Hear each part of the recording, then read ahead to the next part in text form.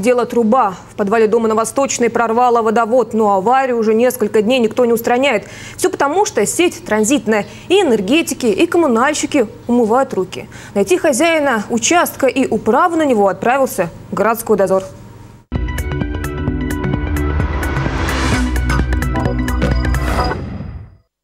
Во время опрессовок в подвале дала течь транзитная труба с горячей водой.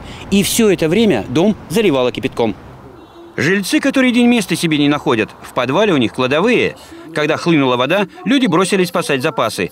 Только за первый день из овощной ямы выкачали 25 ведер.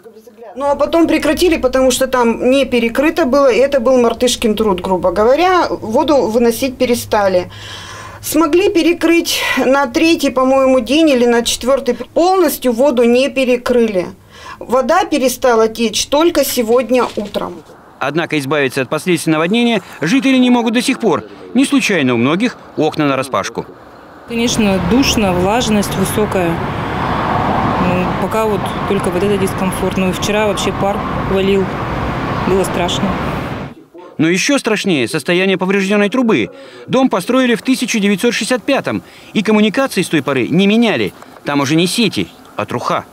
Вот сегодня, например, необходимо поставить, э, заменить кусочек трубы. Но когда начнется э, пере, переход на отопление, то есть на подачу, то труба рванет вся полностью. Но попросить энергетиков заменить трубу Светлана Федоровна боится.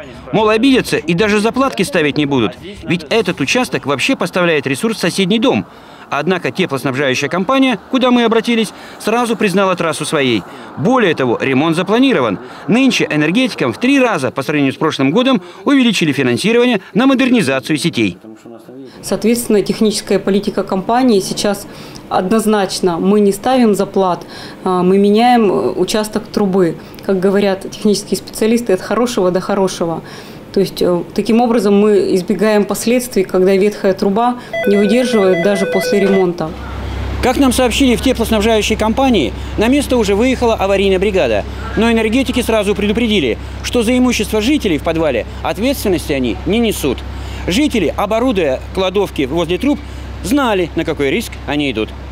Юрий Шумков, Алексей Богданов, Городской дозор.